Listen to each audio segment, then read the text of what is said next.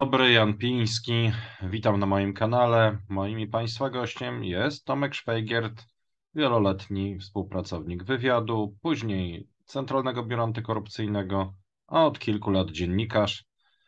E, I dzisiaj, drodzy Państwo, porozmawiamy o końcu objazdowego Sadomaso, czyli tournée Jarosława Kaczyńskiego po Polsce. Jesteśmy niepocieszeni, bo wiecie Państwo, sezon ogórkowy. Programy, jak wiecie, nadajemy codziennie. I nagle Jarosław Kaczyński wypada nam z grafiku. No, to jest dla nas bardzo trudna sytuacja, musicie Państwo zrozumieć. To może nam się głos łamać przez chwilę. W każdym razie Jarosław Kaczyński, e, no, tak mówiąc już poważnie, no to ten cały turniej to było jakoś serią koszmaru sennego piarowców PiS. E, no to już pomijając, że już początek wyglądał źle, kiedy e, Kaczyński e, pomylił Inowrocław z Włocławkiem, prezydenta Ryszarda Brejze pomylił ze swoim aferzystą Łukaszem Mejzą. Później euro wyceniał na 3 złote. To z kolei potem całe stado ekonomistów, to zresztą było takie dosyć e, standardowe, że po jego wypowiedziach musiały być pisane artykuły, co prezes naprawdę miał na myśli, udowadniające, że prezes jednak ma rację. E, no ale potem jeszcze pojawił się kompleks sztokholmski, który z kolei spowodował dyskusję, czym się różni kompleks sztokholmski od znanego do tej pory syndromu sztokholmskiego. No oczywiście takim leitmotivem tej kampanii było jechanie przez Jarosława Kaczyńskiego, najbardziej wpływowego polskiego geja, e, po mniejszościach seksualnych, szczującego na LGBT, na osoby transpłciowe. No, my się trochę z tego śmialiśmy, aczkolwiek temat do śmiechu nie, nie, nie jest, no szczególnie osobom, których to dotyczy, bo później e, takie jazdy Kaczyńskiego są traktowane przez e, różnych pan, panów e, inteligentnych i emocjonalnie przede wszystkim inaczej, jako przyzwolenie do tego, że władza pozwala na brutalność, władza pozwala na ataki, bo to od ataków słownych, gdzie, gdzie po prostu to, to są początki później ataków fizycznych, to od jednego do drugiego. No więc e, Tomku, czym jeszcze może być wedle Twojej wiedzy spowodowana ta reiterada na rzekomo dawno zaplanowany urlop? Bo to wygląda prawie jak hmm, Ty stawiałeś taką hipotezę, że Jarosław Kaczyński może trafić na emeryturę wcześniej niż wszyscy myślą, nawet on sam, i że to się zacznie od e, problemów ze zdrowiem, które będą wymagały szybkiej interwencji lekarskiej. Czy to już jest początek? To jest niestety już początek. Ja też bardzo żałuję. Zawsze z olbrzymią ciekawością oglądałem te wszystkie e, kabarety, no bo to inaczej nie można określić, czy tę rewię, jak ty opowiedziałeś, określałeś. No, sami Państwo widzieliście. No, to, to było... Rewia była na zapleczu, Tomku. Przepraszam, Janka, muszę ten program dokończyć z Tobą. No i No tak. No i e, szanowni Państwo, no człowiek nie wiedział, jakie będą pytania, co się będzie działo. Nie, no ciekawe, no po prostu budowane napięcie od początku. Najpierw trzęsienie ziemi, a później dopiero, jak u Hitchcocka, no, a później dopiero napięcie wzrastało. No, ale już tak mówiąc, jeszcze w tej formie żartobliwej, to dementujemy. Jarosław Kaczyński nie to nie jeździ dlatego, że mu zakazał kot, bo pan wracał zdenerwowany, ale nie dlatego, że przestraszył się jajek no, własnych, bo to, tak powiem, de facto no, to jego, jego ludzie rzucali tymi jajkami w jego samochody.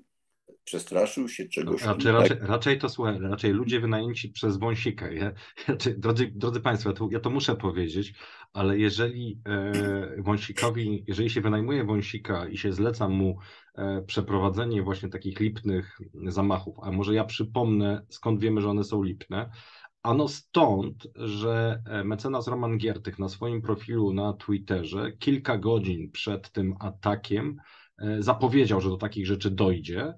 Następnie, mm, jak to doszło, no to e, propaganda wyhamowała, zdążył zrobić materiał tylko Polsat. Po tak zwanej linii i na bazie.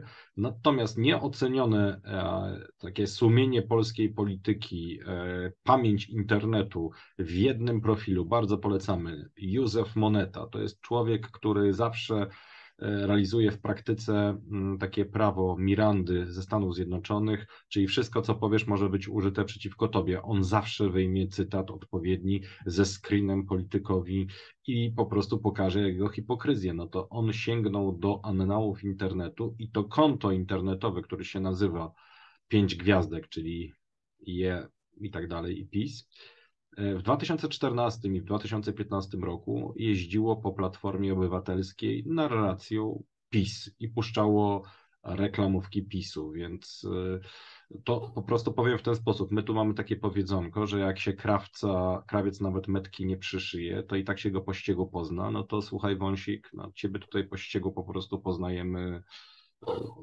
no, no ścieg, ścieg wasz, no. To więc albo, albo ty, albo twój uczeń jakiś. E, czyli krótko mówiąc, e, no, jak już wprowadziłem, no to, to, to są tutaj właśnie jego jajka, czyli zamachy, które, które miały się pojawić, żeby pokazać, że ta opozycja jest pełna nienawiści i, i, i jest gotowa zamachnąć się na życie prezesa. No, szanowni Państwo, e, my się utożsamiamy jednak z ludźmi, którzy wykonują podobną profesję, którą długo ja wykonywałem. Janek też ma to zrozumienie. I Wiecie Państwo, na przykład jeżeli e, w dawnych, były dawne metody wychowawcze i na przykład mówiło, mówiło się dziecku, żeby skądś poszło albo gdzieś nie chciało iść, mówiło ciemno, zaraz przyjdzie dziad, no to tutaj był taki pomysł, nie ukrywam, że to jest pomysł Janka i mój, ale sądzę, że również dotarł do e, opozycji. Co by było, i do pana Jarosława, co by było, jakby na przykład na jedno ze spotkań przyjechał pan Donald Tusk bez ochroniarzy, jako obywatel chciał tam wejść i porozmawiać z panem Jarosławem.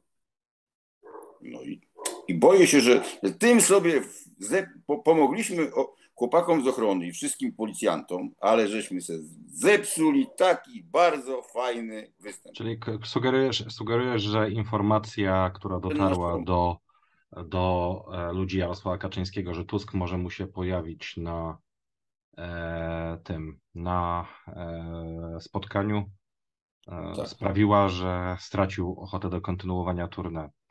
Ja natomiast, ja natomiast tutaj widziałem też taki mem internetowy autorstwa Mandarka, to jest taki zacny publicysta, e, drukarz z Wielkopolski, właśnie też na Twitterze, który pokazał takie polowanie pierwotnych ludzi na mamuta, który tutaj stawia duży opór i to było z podpisem Zarząd PiS przekonuje Jarosława Kaczyńskiego do zakończenia e, tournée po Polsce. Więc no, umówmy się tak zupełnie serio, że myślę, że tam było wiele powodów. No, krótko mówiąc, to było tak, że ze spotkania na spotkanie było coraz gorzej, to znaczy on wyglądał, lepiej. czy coraz lepiej, no zależy, zależy z, czego, no z naszego punktu widzenia było coraz lepiej. Myśmy tutaj cytowali właśnie naszych sympatycznych Twitterowiczów, którzy e, mówili, że takiego prezesa w takiej świetnej formie fizycznej, intelektualnej to po prostu sobie życzą. No i tak dobrze żarło, zdechło, naprawdę. Szkoda, szkoda. No to, właśnie, to, właśnie, to właśnie było to, że Kaczyński no, ewidentnie sobie nie poradził. Jest też coś takiego, że on się ewidentnie zaczął bać Polaków. To znaczy, początkowo reklamowano to jako jakieś spotkanie Kaczyńskiego z Polakami, a szybko się okazało, że to są spotkania Kaczyńskiego z działaczami PiS, z czego często jest tak, że w ogóle e, miejscowości, w których on występuje i ludzie, którzy tam są na widowni, nie mają ze sobą wiele wspólnego, ponieważ selekcja jest taka, że niech się warszawskie lokale schowają najlepsze, dlatego że e, po prostu nie wpuszcza się tam byle kogo. No. Skąd się te porównania biorą? ale bardzo, naprawdę gratuluję. Szanowni Państwo, no i tutaj zadziałało jedno. Jarosław Kaczyński niewątpliwie bardzo, ale to bardzo obawia się o własne życie. I rzeczywiście zrozumiał, no, no nie chciałbym tutaj naszej roli jakoś, jakoś tutaj e, bardzo podnosić, ale jednak no, trochę, trochę nas, nas słucha i zrozumiał na przykład no, te dawanie mu tej, tej, tego, tej szklanki wody po, przed wejściem do samochodu. te wszystkie być może jakieś pomysły z sobowtórem, czy te wszystkie głupoty z organizowaniem zamachu na jego życie, no to może być. Ale to właśnie, bo, słuchaj, bo ja nie wiem, czy ta konkluzja wybrzmiała. Po prostu e, akurat jak Wąsik bierze się za robienie pozorowanego zamachu, to jest ryzyko, że mu się uda. To jest po no, prostu, to, była, to miała być kwintesencja mojego tego. No po prostu oni są tak kompetentni, że e, to, jest, to jest w ten sposób, że jak się ich zostawi z dwoma kółeczkami, to jedno zgubią, a drugie zepsują. I to jest, e, no, no to, to, to, jest, to jest ten poziom, to jest, to, to jest ten ich poziom no, działania. Więc powiem w ten sposób, no, to trzeba naprawdę niewiarygodnie odważnego człowieka, żeby wyrazić zgodę na robienie prowokacji przez tych kolesi, bo e, naprawdę to są, to, to, to, to są naprawdę tytanie intelektu, świetnie wyszkoleni w zakładaniu blokad na kołach i spisywaniu ludzi, którzy źle zaparkowali. To jest po prostu doświadczenie niesamowite, klasa europejska. Ale... Nie, no jest, to jeszcze inne tematy, które poruszymy, ale w innych programach, takie bardzo ciekawe. Tak, no więc e, w każdym, w, każdym, w każdym razie Jarosław Kaczyński ewidentnie przestraszył się Polaków. Ewidentnie to była taka mm, też taki pojedynek, e, no on unika, on nigdy w życiu nie wejdzie już na spotkanie do debaty z Donaldem Tuskiem po tym laniu, które Tusk mu zrobił 15 lat temu, w 2007 roku, tuż przed wyborami, e, w tym 15, 15 e, lat temu, tuż przed, przed wyborami, Kaczyński ma po prostu traumę.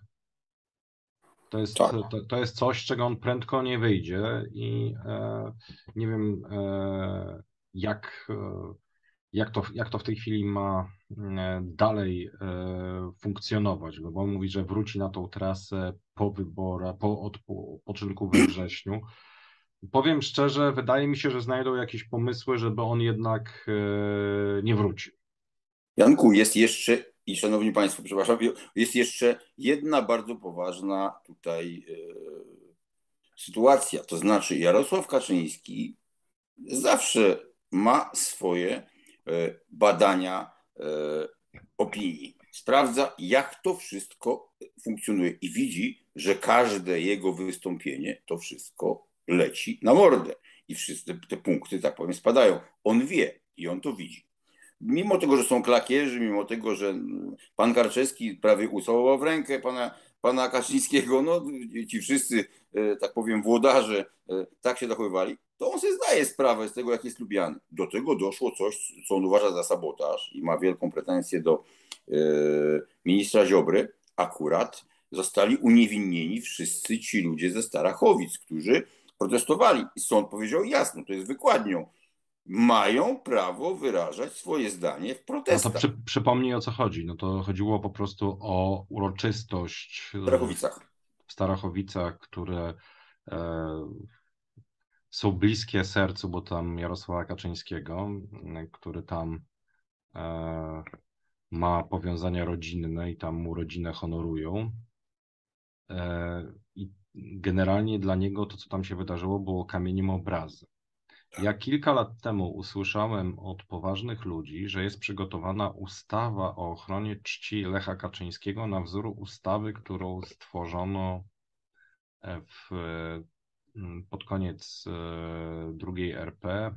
E, marszałku. Tak, o marszałku. To się wzięło stąd, że wówczas jeden z profesorów uniwersytetu napisał felieton E, na temat e, Piłsudskiego, w którym, znaczy w ogóle na temat ogólnej polityki, gdzie nie wymieniając nazwiska Piłsudskiego, napisał, że pewien Kabotyn, e, który pisał, że Polska jest jak obważanek, że najlepszy jest na obrzeżach, a nie w środku. I no to było generalnie potraktowane jako jak palne w ten rudy łeb, czyli jako jednoznacznie identyfikujące, że tak, za takiego osobę uważa marszałka. I jemu walnęli wieloletni wyrok więzienia z paragrafu zrównania e, obrazy marszałka Józefa Piłsudskiego z obrazą Polski, czyli tam z szyderstwem z Polski, ale potem, żeby już nie, nie robić właśnie takich ekwilibrystyk prawnych, no to po prostu wprowadzono osobną ustawę, żeby już nie musieli łamać prawa i twierdzić, że po prostu już takie, takie obrazy będą po prostu automatycznie karane. I ja szczerze mówiąc myślałem, że to był humbug A teraz ostatnio jeszcze rozmawiałem z jedną z tych osób i ona mówiła, nie, oni przygotowali taką ustawę, tylko w pewnym momencie ktoś tam właśnie uznał, że to jeszcze nie jest ten moment.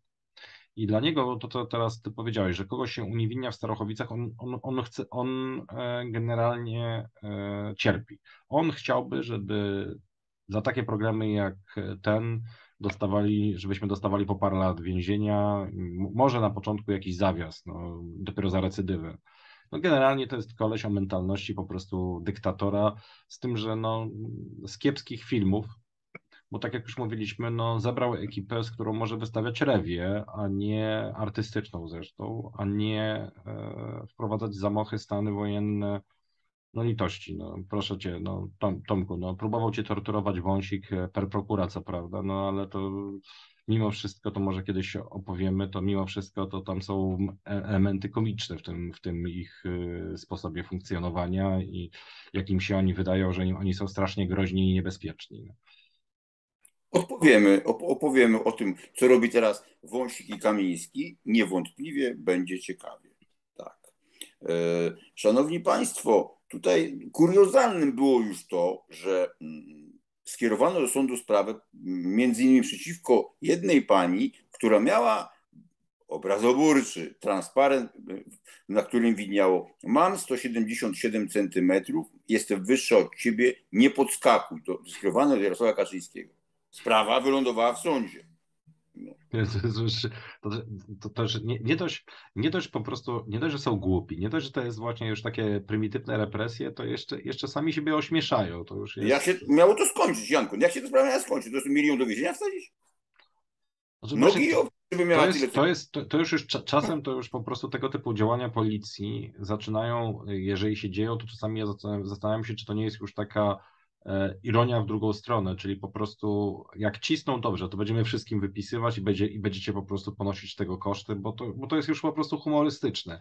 To znaczy, każda dojrzała demokracja funkcjonuje w ten sposób, że politycy muszą się przyzwyczajać do tego, że mają grubą skórę. Ja pamiętam wyroki Europejskiego Trybunału e, w, w Strasburgu, który e, oceniał e, przepraszam, nie Strasburgu, e, Europejskiego Trybunału Sprawiedliwości. Sprawiedliwości, ETS. Ta, tak, e, który oceniał, że e, można polityka wyzywać od kretynów i idiotów, dlatego że po prostu funkcja publiczna, którą pełni, e, daje prawo do wyładywania nawet obywatelowi na nim jakiegoś, jakiejś formy frustracji, że krótko mówiąc, e, jeżeli bierzesz kasę, ciężko o pieniądze, pieniądze podatników. Jeżeli e, pracujesz dla nich, jeżeli zgarniasz tą władzę, to musisz mieć po prostu grubszą skórę. No.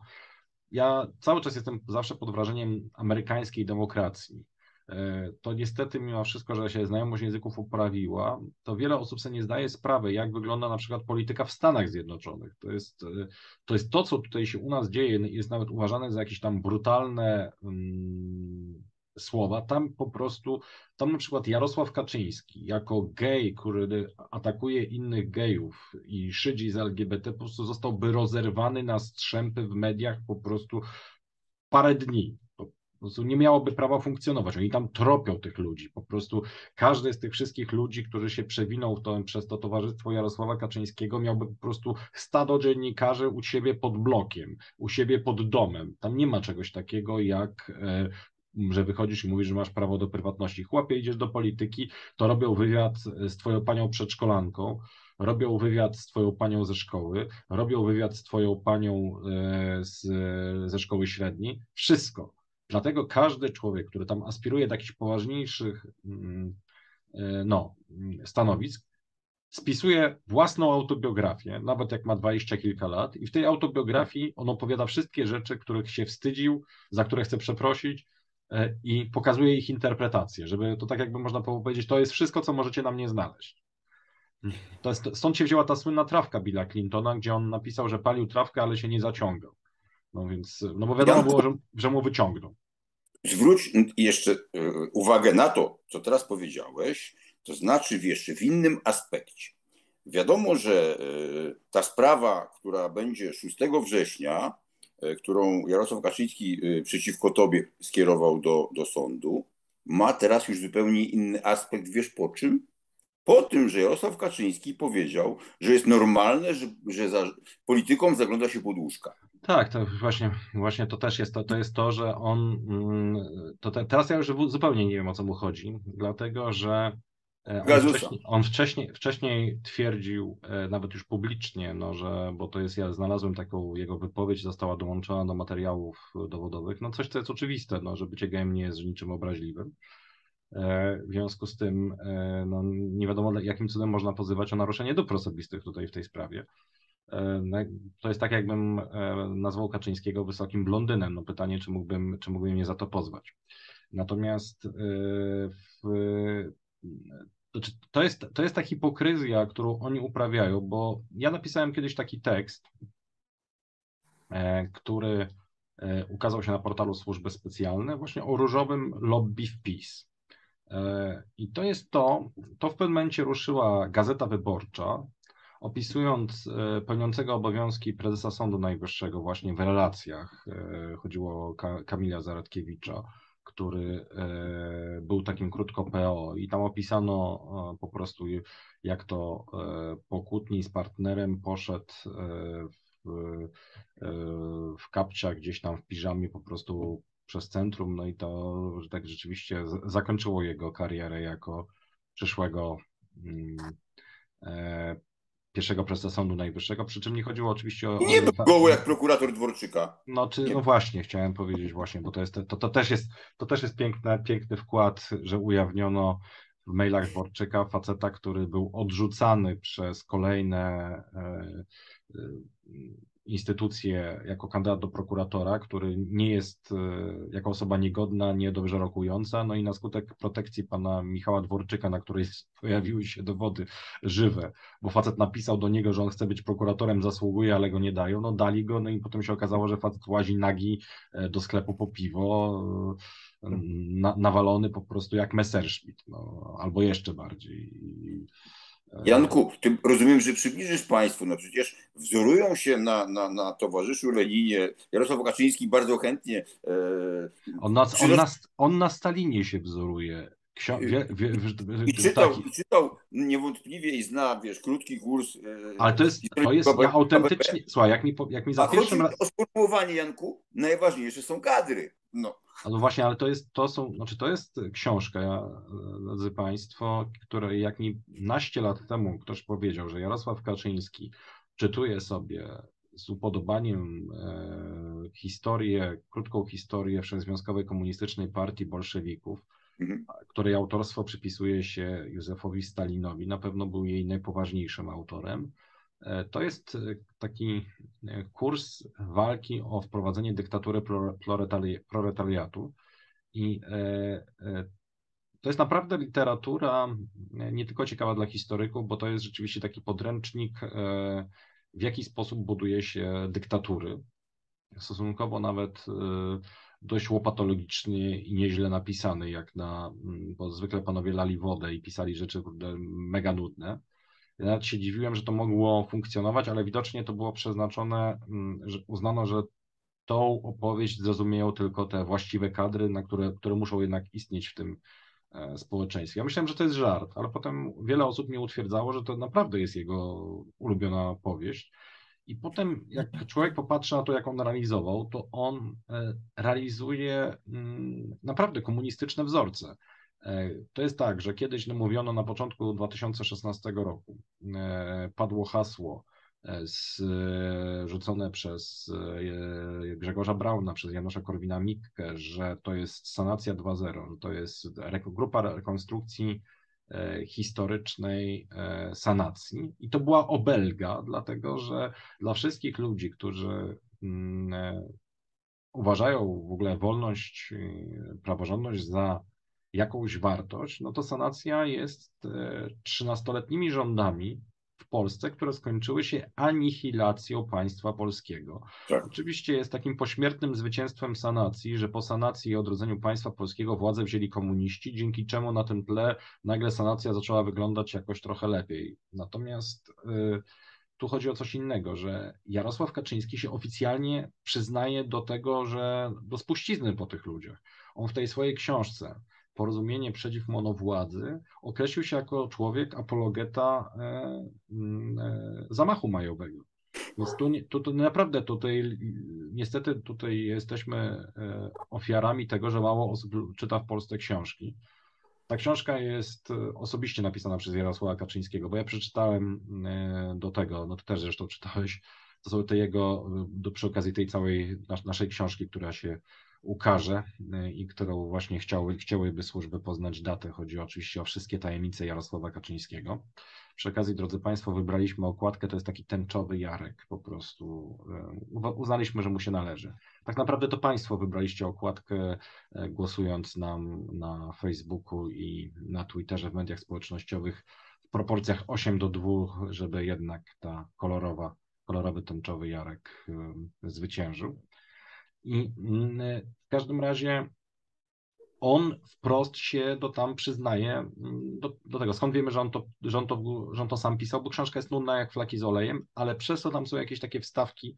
Na przykład bardzo mi się podobała taka wstawka odnośnie e, Ekspresu Wieczornego. Była taka gazeta, którą przejął kiedyś PiS i zaorał, ale zanim ją zaorał, no to redaktorem naczelnym był Krzysztof Czabański, który wymyślił w ogóle inżynierię finansową, jak to przejąć i się uwłaszczyć. To znaczy oni kupili, znaczy dostali, bo tak podzielono gazety między partie polityczne i oni dostali właśnie ten ekspres wieczorny. Do ekspresu wieczornego były przypisane określone nieruchomości, które, uwaga, wynajęli i dostali, to był pomysł Krzysztofa Czapańskiego, jak on tam opisuje, że dostali zapłatę z góry za wiele lat i dzięki tym pieniądzom, które otrzymali z banku z góry na wiele lat, od razu to wykupili. Czy to jest tak, że dostali majątek, który natychmiast kupili z wieloletniej umowy i spłacili? No, czyli, i zostały... czyli mówiąc tak po prostu, uwłaszczyli się. do pieniędzy, szanowni państwo. Znaczy uwłaszczyli się na majątku, uwłaszczyli tak. się na majątku, uwłaszczyli się na tym, co na, zrobili to, co później Jarosław Kaczyński przez lata krytykował, czyli uwłaszczenia się w sposób nieprzejrzysty, nietransparentny, tak. niedopuszczalny dla wszystkich, czyli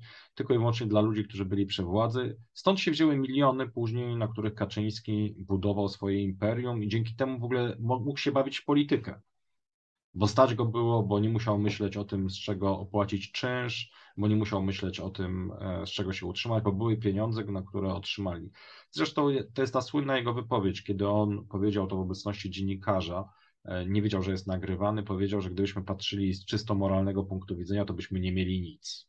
I tam jeszcze dodał, że tutaj by rządził Geremek, bla, bla, bla, etc. To było takie usprawiedliwienie pod hasłem, że skoro wszyscy kradną, wszyscy się uwłaszczają, to my też.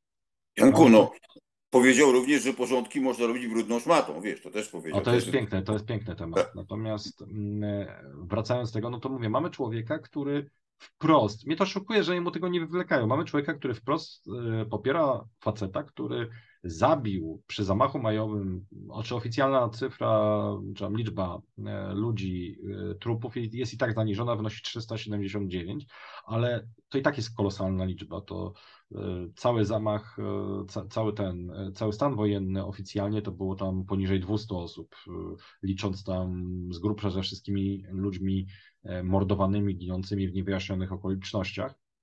Skrytobójstwa, pobicia, bereza. Tak, tam jest, ta, a, gdyby, a, a, a, tak naprawdę za sanacji dochodziło jeszcze do skryptobójstw i morderstw, które już tak naprawdę nie były po, policzone, chociażby też do m, mm, zabijania ludzi na raty, nawet chociażby w więzieniach albo w e, Berezie Kartuskiej, bo przecież to też było E, były osoby, które tam umierały w więzieniu, ale były też osoby, którym odbierano zdrowie po prostu w tego typu placówkach i na przykład umierały tuż po wyjściu.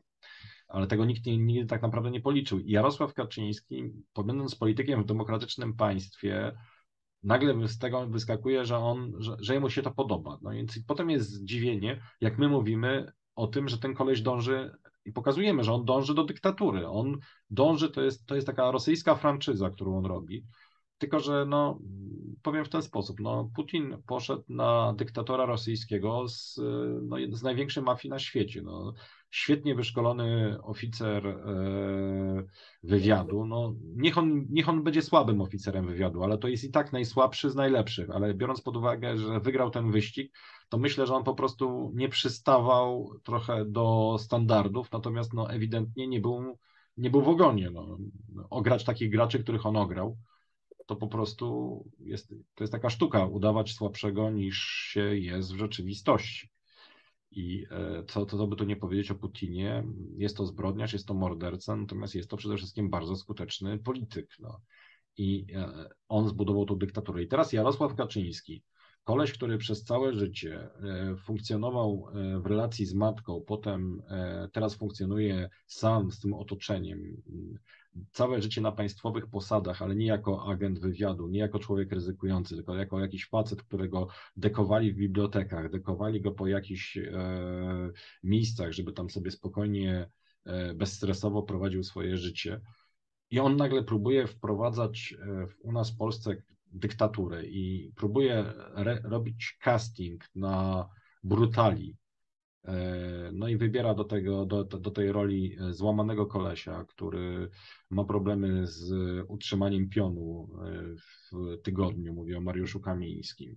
Dobiera do tego jego Sancho Pansę, Macieja Wąsika, kolesia, któremu się ręce pocą, trzęsą, który po prostu nie, ma niezdrową fascynację, bo to przypomnijmy, wiceszef polskich służb, wiceminister MSWiA został przyłapany na tym przez media, które to opisały, przełapany przez kolegów, no bo do, przeciek poszedł do mediów, ale opisane to zostało, że koleś siedział kilka tysięcy godzin, słuchał na słuch... i pół tysiąca tych udowodnionych, a było tego dużo więcej. Tak, Specjalne na, na, stanowisko u tak. siebie w gabinecie. No to wyobraźcie, wyobraźcie sobie Państwo, przepraszam, bo to rzadko używam, ale jakiego trzeba mieć pierdolca, żeby słuchać e, w czasie rzeczywistym osób podsłuchiwanych, akurat tam legalnie czy coś ten, ale chodzi o to, żeby Ile godzin było w nocy? co można wysłuchać w nocy. Ale nie, ale to, ale to nawet no, no, no tak na, na, zdrowy rozum, no to, to, wiadomo, że takie rzeczy się robi, nie wiem, przy jakichś operacjach ważnych, że jest jakaś dynamiczna sytuacja,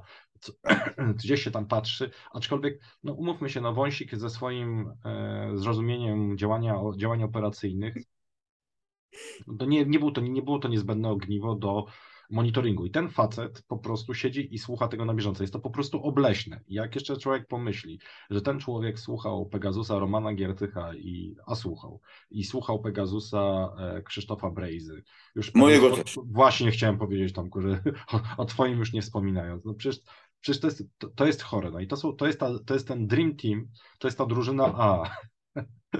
Janku, Jarosława, Jarosława Kaczyńskiego. No, Tomek, to, to, Wiesz, czego jestem bardzo zadowolony? No. Że za każdym razem, bo wiesz, my o nim mówiliśmy i on wie jak. I, i funkcjonariusze też wiedzą jak. Zawsze. No to, to prawda, dlatego że tego, tego, tego jest tyle, to jest tyle, drodzy Państwo, że tego się nie da wymazać. E, to ja rozmawiałem z jednym z prawników Tomka, który wyszedł z kancelarii tajnej po przesłuchaniu i stwierdził, że należy wydać nasze E, rozmowy, e, po, po, że po tym jak już to sprawa się skończy, należy po prostu wziąć te stenogramy, są, jest spisane po prostu i wydać po prostu to, co żeśmy z Tomkiem rozmawiali, oczywiście wiedząc o tym, że jesteśmy podsłuchiwani. Było to, można powiedzieć, że to są takie prequele do naszych rozmów tutaj, drodzy Państwo.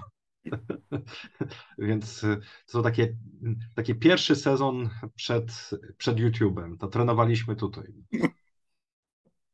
No drodzy no. Państwo, w każdym razie mamy sytuację mm, taką, że Jarosław Kaczyński kończy swój występ. Czy Twoim zdaniem Tomku wróci? We wrześniu, jak zapowiadał. Nie.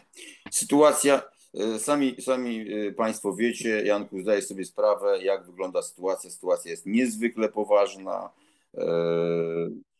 E, I sytuacja międzynarodowa, chodzi mi o wojnę na, w Ukrainie, i, i sytuacja nasza wewnętrzna, którą oni po prostu usilnie rozwalają i to robią celowo, psują. No. Znaczy oni po prostu nie, oni szukają... Mm, dążą do konfliktu. Tak, dążą do, dążą do maksymalnej e, destabilizacji e, e, państwa, to znaczy wychodzi im z założenia tak, to jest prosta matematyka.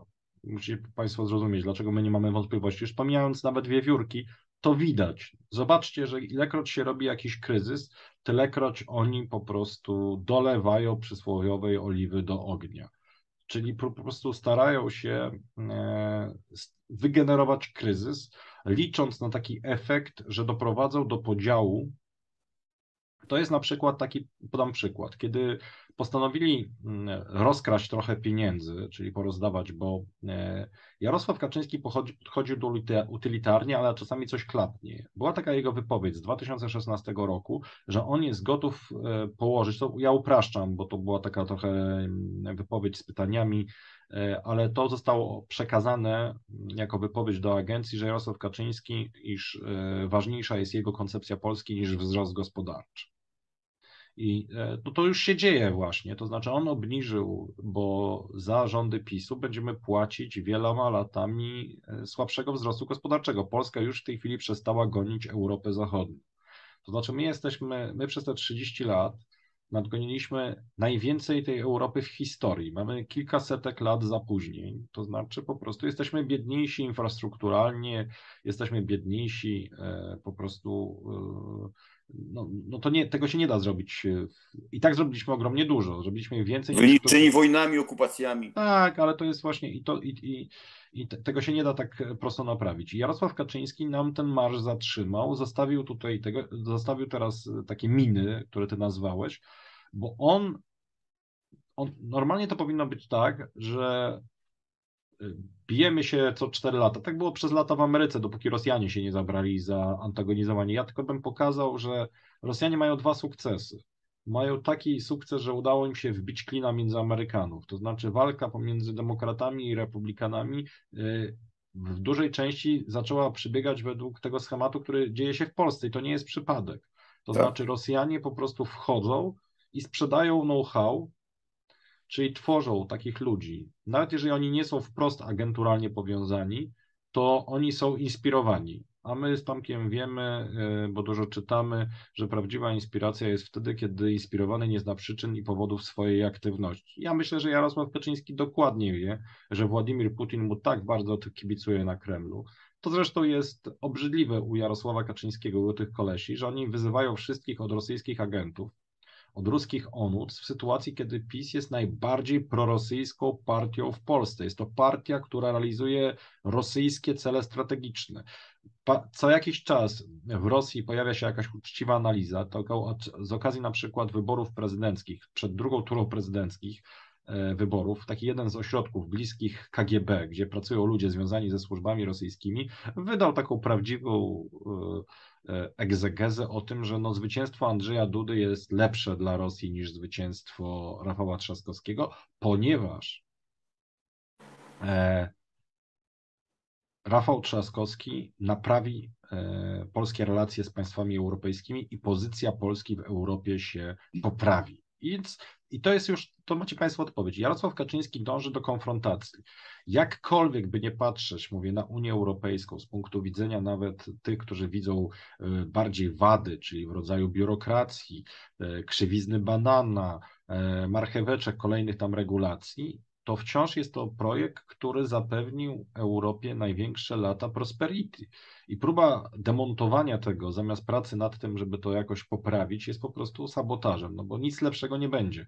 Alternatywą są wojny. I Jarosław Kaczyński miał taki pomysł, właśnie rodem z XIX i XX wieku, z, z, tego, kiedy się budziły nacjonalizmy, żeby zrobić to suwerenne państwo. No, suwerenne państwo Polaków, liczące sobie, uwaga, już nie 38 milionów, bo jest poniżej, tylko to jest w perspektywie suwerenne państwo samych Polaków, to jest 20 parę milionów ludzi, dlatego że nas po prostu ta demografia nas zabija. Janku, to jest y, państwo, które nie może, to jest państwo, które nie może istnieć samodzielnie e, przy takich rozmiarach gospodarki, po prostu zostanie, brzydko mówiąc, zmiecione E, w tej grze mocarstw, no, lepiej jednak trzymać z tymi, którzy są bogaci. No, to jest na tej zasadzie, że ja wszystkim, którzy chcą orbitować zawsze do Rosji w kierunku tego, to ja zawsze tłumaczę jedno, czy wy znacie jakiegokolwiek bogatego sąsiada Rosji, sojusznika Rosji, czy kogokolwiek, kto stał się, w ogóle utrzymał bogactwo, stał się bogaty, bo można oczywiście twierdzić, że Polska, właśnie też jest zabawne, że ludźmi, którzy oddali suwerenność, bo oddali część suwerenności w latach 2007, 2006, chodzi o traktat lizboński, później ratyfikacja 8. Natomiast nie, no to oddali. To był PiS i Lech Kaczyński. Tylko, że Kaczyńskiemu się odmieniło, Kaczyńskiemu się przestało podobać prawo europejskie, kiedy dostrzegł szansę wprowadzenia dyktatury. To jest tak naprawdę, kiedy doszedł do wniosku, że jest w stanie zbudować polski kołchoz, który sobie zbudował Aleksander Łukaszenka. Janku, no jest to niepodważalne i, i tutaj oni tego nie zmienią, że głównym, najważniejszym beneficjentem polexitu jest Rosja. I koniec. Kropka. A oni, a oni grożą polexitem. A oni Na- chcą zrobić. Proste. Tu już nie ma o czym. Znaczy nie, to, to jest, e, to, to, znaczy, e, Polexit to jest na liście celi, celi strategicznych e, w GRU, czyli w wywiadzie wojskowym i w SWR, czyli następcy KGB, czyli Służbie Zagranicznego Wewnętrznego, to Pol- Polexit polski jest na równi stawiany z wyjściem z NATO. Tak. To bo to są takie cele, które po prostu powodują, że grawitacja zaczyna ściągać Polskę natychmiast w kierunku, ta grawitacja geopolityczna w kierunku Rosji. Tutaj Rosji i Białorusi. nie ma dwóch zdań. Drodzy Państwo, e, klasycznie, Ty mówisz Tomku, że on już nie wróci na trasę, a ja się zastanawiam, czy on, czy on jednak nie spróbuje wyrwać się swoim opiekunom, tak jak ten mamut. To jest tak, jak jest z tym naszym zakładem. Wiesz, Janku, ja bym chciał przegrać. Chciałbym, żeby wrócił. To mamy tutaj odwrotną sytuację. Tak, więcej, wie, czy mamy taki postulat, drodzy Państwo, y, to jest postulat do tych, więcej Jarosława Kaczyńskiego. Bo to jest Tak tak, jak był, był kiedyś taki, e, była to kiedyś taka piosenka, kurczę, blade, to, zawsze wy- wychodzi, ile człowiek ma lat i dobrą pamięć. Im więcej ciebie, tym mniej. To była piosenka Natalii Kukulskiej dla, chudno, dla chudnących inaczej. E, I e, to właśnie mówię, że im więcej Jarosława Kaczyńskiego, tym mniej, tym mniejsze notowania PiSu, więc więcej Jarosława. Drodzy Państwo, Dziękuję za dzisiejszy program, szczerze się uśmiałem, naprawdę. Historia Ekspert, Prorocza Rusofobia, to jest magazyn, którego jestem wydawcą i autorem. Autorem tekstu Prorocza Rusofobia jest oficer wywiadu e, na Rosję, specjalista od Rosji. To oczywiście pisze pod pseudonimem, swoje przemyślenia zawiera, bardzo polecamy. Oprócz tego jest mój tekst o rosyjskich matrioszkach w Polsce, czyli o Rosjanach, którzy udawali e, Polaków. I takim e, najbardziej sztandarową matrioszką, według pułkownika Piotra Wrońskiego, człowieka, który służył w SB, ale później był właśnie też pułkownikiem e, polskiego wywiadu, ale pracował też przez chwilę w kontrwywiadzie na kierunku rosyjskim, miał duży sukces w latach 90., więc e, wie o czym mówi i on sugeruje, że taką matrioszką, takim rosyjskim agentem udającym Polaka był sam generał Czesław Kiszczak, to jest facet, no, taki no, człowiek instytucja, który wbrew e, pozorom zachował wpływ i dużą dozę władzy, nawet można powiedzieć do samej śmierci.